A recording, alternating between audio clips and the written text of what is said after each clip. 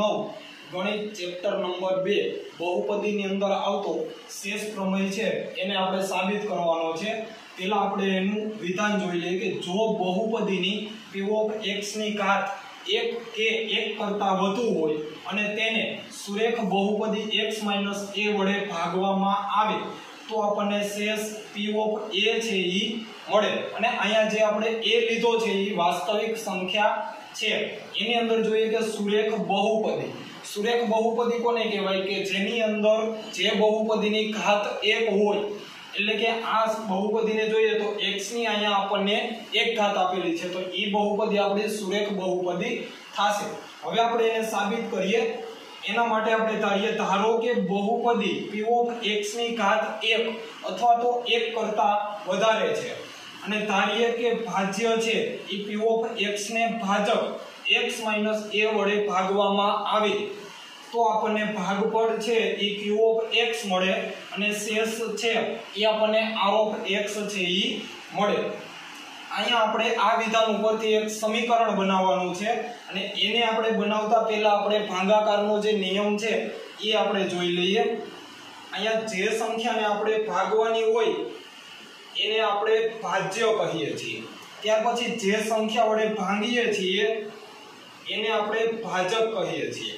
અને જે સંખ્યા વડે ભાગતા આપણને ઉપર કંઈક જવાબ મળે, એને આપણે ભાગફળ કહીએ છીએ. અને જે છેલ્લે જવાબ મળે છે, એને આપણે શેષ તરીકે લઈએ છીએ. તો હવે આના ઉપરથી આપણે એક સમીકરણ બનાવીએ કે ભાજ્ય છે ભાજ્ય આપણને ક્યારે મળે? જ્યારે ભાજક અને ભાગફળ આ બેનો ગુણાકાર કરીએ અને શેષ છે એની આપણે એની અંદર ઉમેરી દઈએ. ભાજક ગુણ્યા ભાગફળ વત્તા શેષ. જો આ રીતે આપણે કરીએ, તો આપણને ભાજ્ય છે, એ આપણને મળે. તો આ ધારેલી વસ્તુ ઉપરથી આપણે આ સમીકરણ બનાવીએ. તો આપણને ભાજ્ય અહીંયા શું આપેલું છે? ભાજ્ય આપ્યું છે આપણને પી ઓ એક્સ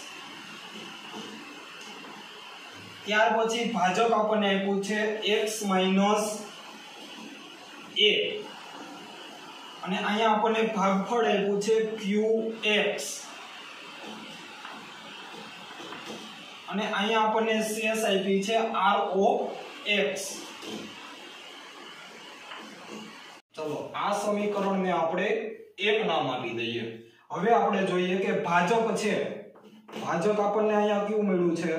ભાજક x a એની જો આપણે ઘાત જોઈએ, તો એની ઘાત આપણને મળી છે 1 અને એની આપણે સરખામણી r of x વડે કરીએ. તો આ of એક્સ છે એ શેષ જ છે. અને એની જે ઘાત છે એ ભાજક કરતા હંમેશા ઓછી હોય છે. એટલે કે આરોપ x ની ઘાત છે, એ હંમેશા ભાજક કરતા ઓછી હોય છે. અહીંયા ભાજકની ઘાત જો 1 હોય, તો આપણે શેષની ઘાત છે 1 કરતા ઓછી. એટલે કે શૂન્ય થશે.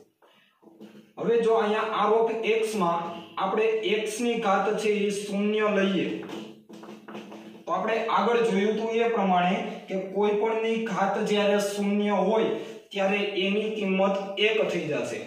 એટલે કે r of x શૂન્ય બરાબર આપણને r છે એ મળશે. ચલો, હવે આપણે આ સમીકરણની અંદર જોઈએ તો r x બરાબર આપણને મળશે r આને આપણે સમીકરણ નંબર 2 આપી દઈએ. હવે આ સમીકરણ નંબર 1 ની અંદર સમીકરણ 2 ની આપણે કિંમત મૂકીએ. કે સમીકરણ 2 ની કિંમત સમીકરણ 1 માં મૂકતા હવે જોઈએ કે આ સમીકરણની અંદર આપણે અહીંયા r of x છે અને અહીંયા મળ્યું r of x બરાબર r. એટલે કે આ સમીકરણ કંઈક આ રીતે બનશે. P ઓફ x બરાબર x a, q of x r. હવે આપણે આની અંદર આપણે x ની કિંમત ધારવાની છે. અને અહીંયા આપણે x બરાબર a લઈએ છીએ. હવે આ ઉપરના સમીકરણમાં આપણે x ની આ કિંમત મૂકીએ. P ઓફ a બરાબર a minus a q of a plus r. આ સમીકરણની અંદર જ્યાં x દેખાતા હતા, ત્યાં આપણે બધી જ જગ્યાએ a મૂક્યા. હવે આનું આપણે સાદું રૂપ આપીએ તો a માંથી જો a જાય તો અહીંયા વધે શૂન્ય.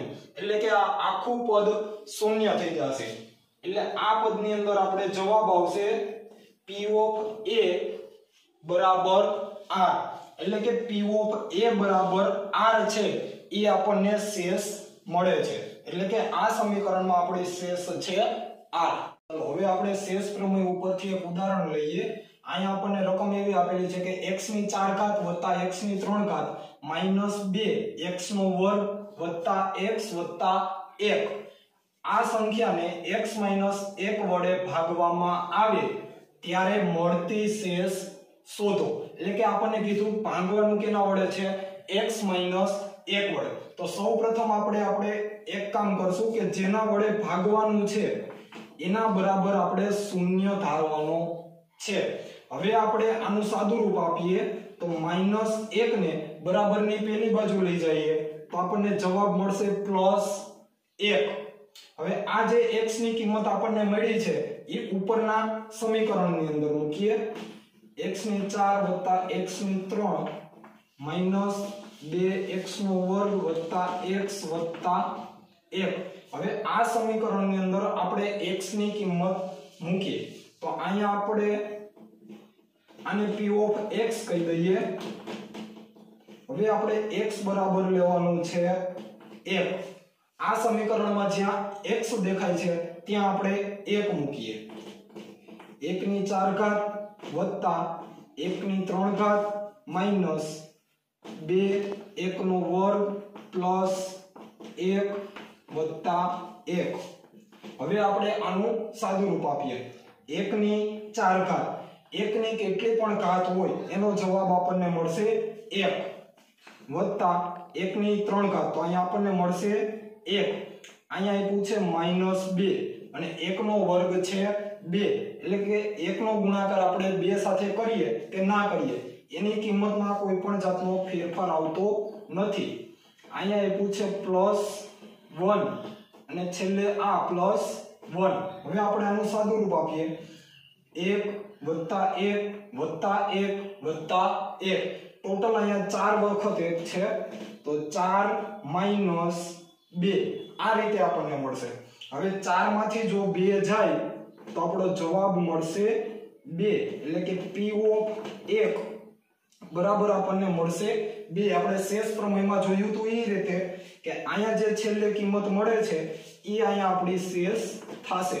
એટલે આ સમીકરણની શેષ થશે b